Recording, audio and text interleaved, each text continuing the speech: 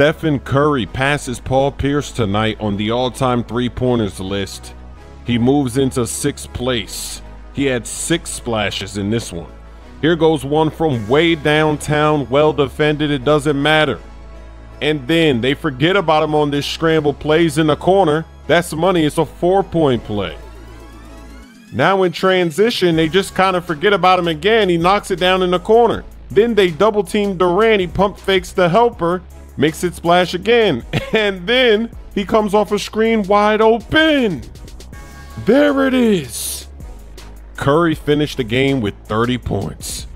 Jokic, he had a perfect game last game. He's going to get an assist to Gary Harris. Harris finished with 28. Jokic had 23. Look at him bodying them. He's too big. That's a mean mismatch. He's taking advantage. Durant with the bounce pass. Iggy throws down the slam. It's a tie game. 11 seconds. Warriors down two. Curry is inbounding. You know he's dangerous. They fake the handoff, and Draymond Green gets fouled. They put him on the free throw line. In the clutch, he's going to knock down the first.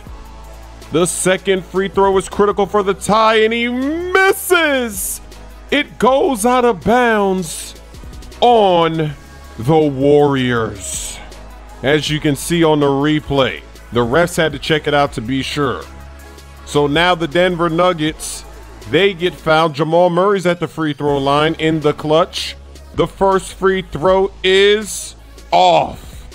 And the second free throw is in.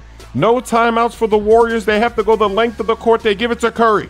He's turning on the Jets. Five seconds. He gets inside, hands it off. He gets rejected. Hernangomez with the game saving block in the clutch. The Nuggets take this game at home. He's leaning in the direction I'm going. Oh, if you reach, I teach. You know the rules. CP3, he's trying to steal the ball every single time. He is reaching hard. He is desperate. And I got him. oh, man, I